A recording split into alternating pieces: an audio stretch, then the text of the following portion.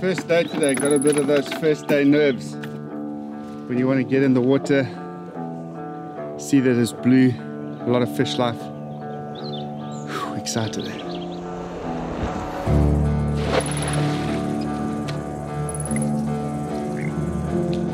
Spear Junkies is a team of select spear fishermen from around the world. Their goal? To target 12 pre selected fish species over a certain weight.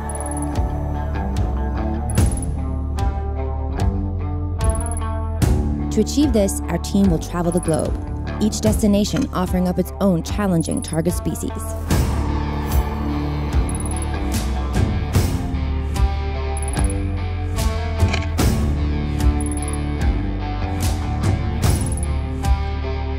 My name is Chris Dillon. I'm from Cape Town in South Africa, and I'm a passionate spearer.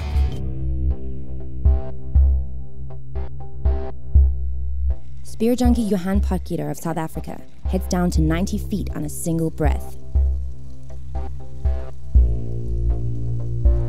When diving on breath hold, these experienced spear fishermen always dive with a buddy. The threat of shallow water blackout not to be taken lightly. However, the adrenaline appeal of this sport far outweighs the potential danger. No trip to Madagascar would be complete without the team encountering some of the wonderfully unique animals that call this island paradise their home. Everyone's coming. Hey, Pong's a bit. Didn't have a shower this morning. Hey. he grabbed the whole banana.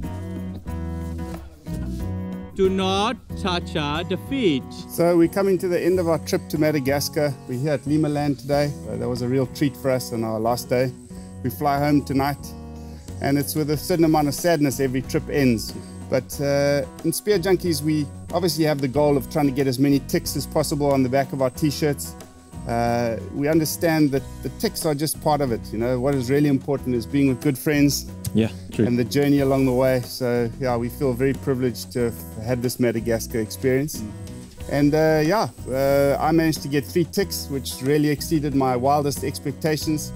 I got a 53 kilogram dogtooth tuna, a 31 kilogram sailfish, and a 27 kilogram GT or giant trevally. So I mean, those are just uh, fish of a lifetime, three of them. So, and uh, we're fortunate enough for Potty to get his tick on the sailfish. So well done, Potty. Thanks, Chris. Good one, mate. Thanks, Niall. And now to you.